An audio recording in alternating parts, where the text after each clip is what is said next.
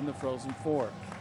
Head coach Chris Gobrecht has been building up the Air Force women's basketball program for the last seven years. But for the better part of two years, they've been upgrading the cadet field house. In fact, during Coach G's press conference today, they were working away. Then we're probably looking at Colorado State again. And this is this has been this has been the music of our of our season. um, I was. they gave it everything they had, and so we were. I was really happy to come away with that win.